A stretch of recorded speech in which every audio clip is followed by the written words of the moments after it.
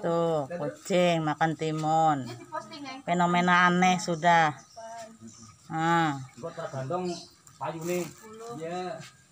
Oh, lahap yang makan nah. Ha. Maka milih timun yang bagus ya. Oh. Hmm. Sesuai dengan punya. Sugi sayur makan sayur aja. Singkong. Empuk singkongnya Pak De. Oh, sama gawak nih. Kristal lah. Bisa omong.